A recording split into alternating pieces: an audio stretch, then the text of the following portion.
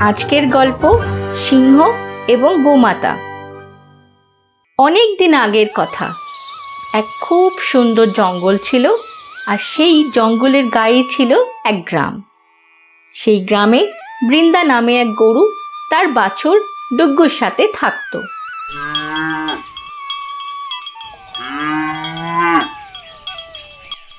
বৃন্দা রোজ সকাল হতেই পাশের জঙ্গলে চড়তে যেত আর সন্ধে হতে হতে সে নিজের প্রিয় বাছুরের কাছে ফিরে আসতো। একদিন বৃন্দা তাজা তাজা ঘাস খেতে খেতে জঙ্গলের বেশ খানিকটা ভেতরে চলে যায়।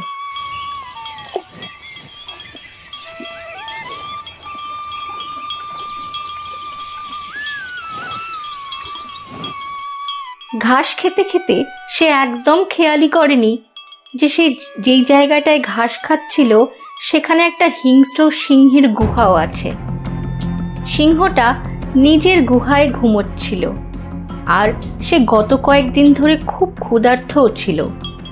গরুর গলার ঘণ্টার আওয়াজে গুহায় ঘুমন্ত সেই সিংহের ঘুম ভেঙে গেল।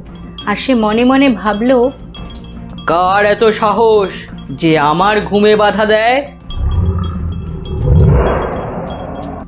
তারপর সে আস্তে আস্তে গুহার বাইরে এলো এবং গুহার বাইরে সে সেই গরুটাকে দেখতে পেয়ে ভীষণ খুশি হলো। মনে মনে ভাবলো ও তো এ এই গরুটাকে খেয়ে তো আজকে ভীষণ মজা হবে। অনেক দিন তো হলো ভালো করে খাবার খাইনি। আজকে তো ভর পেট খাব। এই ভেবে সে জোরে একটা হুঙ্কার দিল। সিংহের হুঙ্কার শুনে বৃন্দা ভীষণ ভয় পেল। তারপর যেমন তেমন করে সাহস জুটিয়ে যেই পিছন ফিরে তাকালো, সে দেখল সিংহটা তার সামনেই দাঁড়িয়ে আছে। সিংহটা আবার একটা হুঙ্কার দিয়ে কবিতার সুরে বৃন্দাকে বলল, এতদিন ঘুরলাম এদিক ওদিক, শিকার পেলাম না কোনো দিক। মনে হয় তোর ভাগ্যটাই খারাপ, যে আমার কাছে নিজেই চলে এলি।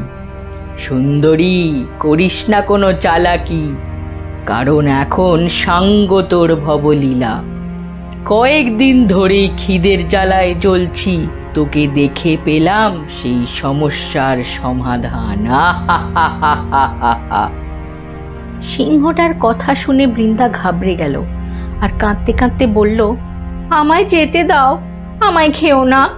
আমার একটা ছোট বাচ্চা আছে যে এখন শুধুই আমার দুধ খায় আর সে এখনও ঘাস খেতেও শেখেনি। বৃন্দার কথা শুনে সিংহটা হাসতে হাসতে বলল তাই বলে কি আমি আমার হাতে আসা শিকারটা এমনি এমনি ছেড়ে দেব? আমি আজকে তোকে খেয়ে আমার এত দিনের খিদের জ্বালা মেটাবো। সিংহের এরকম কথা শুনে বৃন্দা তার সামনে কাঁদতে লাগল আর বিনতি করতে লাগল এই বলে আজকে আমায় যেতে দাও আমি আজকে গিয়ে আমার বাছরটাকে শেষবারের মতো দুধ খাওয়াবো আর ওকে অনেক অনেক আদর করব। কাল সকাল হতেই তোমার কাছে আমি চলে আসব। তারপর তুমি আমায় খেয়ে নিজের খিদে মিটিয়ে নিও সিংহটা বৃন্দার এই শর্ত মেনে নেয় আর ধমক দিয়ে বলে, কাল যদি তুই না আসিস, তাহলে আমি তোর গ্রামে যাব তারপর তোকে আর তোর ছেলেকে দুজনকেই খাব। বৃন্দা সিংহটাকে নিজের কথা দিয়ে গ্রামে ফিরে আসে।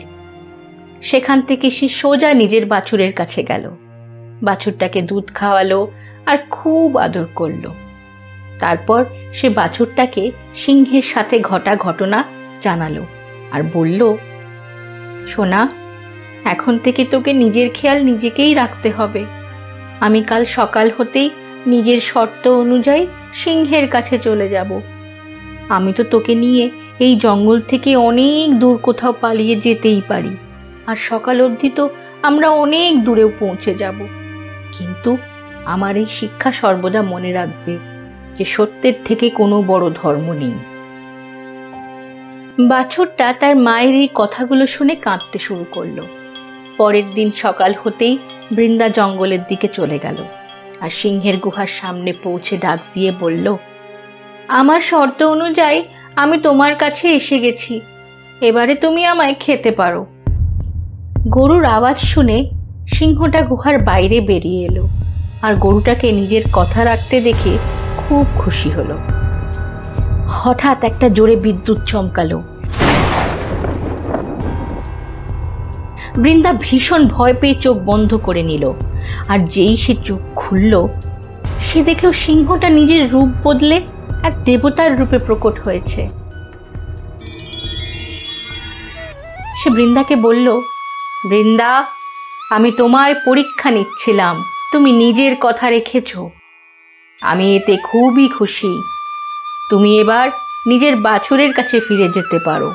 আর হ্যাঁ আজ থেকে সবাই তোমায় গোমাতা বলে ডাকবে। তোমায় সর্বদা সবাই পুজো করবে।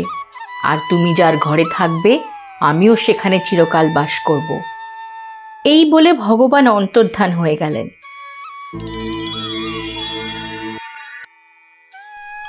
তারপর বৃন্দা খুশি খুশি নিজের ঘরে ফিরে এলো। আর গৌমাতা সবাইকে এই শিক্ষা দিল, আমাদের সর্বদা নিজের সিদ্ধান্তে অটল থাকা উচিত। দৃঢ় সংকল্প জীবনে আসা সমস্ত বিপদকে কাটিয়ে দেয়।